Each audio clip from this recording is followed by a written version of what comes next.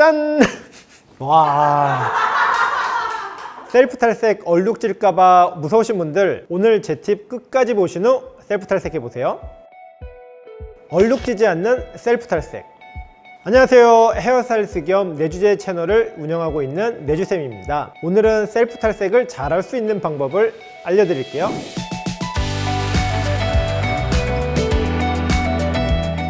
셀프 탈색약은 크게 파우더와 크림 두 가지 제형이 가장 많은데요. 간단히 비교해 드리자면 파우더 제형은 크림 제형에 비해 탈색이 잘 된다는 장점이 있지만 바르기 어렵고 밀착력이 떨어지기 때문에 초보자분들이 사용하기 어렵다는 단점이 있습니다.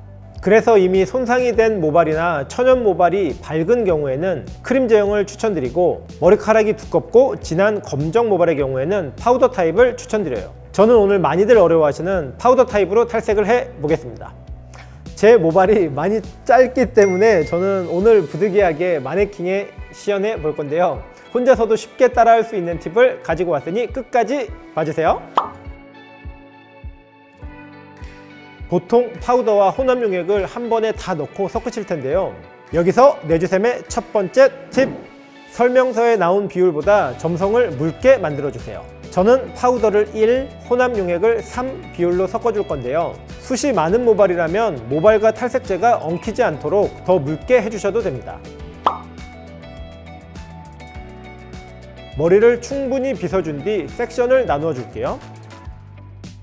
엄지와 중지 사이에 머리카락을 넣고 펼쳤을 때 두 손가락이 맞닿을 정도 양을 잡아주시면 됩니다. 섹션별로 분리된 머리카락을 2, 3cm로 나누어 탈색제를 발라줄 건데요.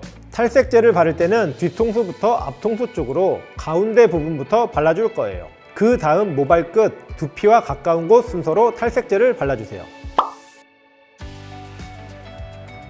이대로 10에서 15분 정도 기다린 후 머리를 감아줄 건데요. 중요한 건 헤어캡을 쓰지 않는 상태에서 방치해야 한다는 거예요.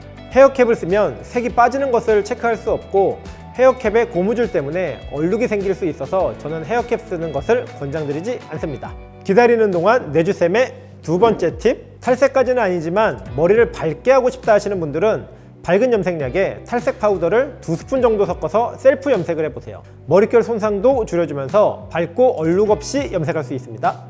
탈색은 모발 손상도와 상관없이 고농축 헤어 에센스를 되도록 자주 사용하는 게 좋아요. 그리고 염색 전용 또는 보색 샴푸를 사용하면 확실히 컬러감이 오래 유지되니 함께 사용하는 것을 추천드립니다. 짜잔! 어떠신가요? 이 정도면은 얼룩 없이 잘 나온 것 같죠? 내주쌤의 셀프 탈색 팁 하나, 탈색제는 묽게 만들어 발라주자 둘, 헤어캡은 사용하지 말자 셋, 밝은 염색약에 탈색 파우더를 두 스푼 정도 섞어주면 충분히 밝은 머리를 할 수 있다 넷, 탈색 후 고농축 헤어 에센스와 보색 샴푸를 같이 사용하자.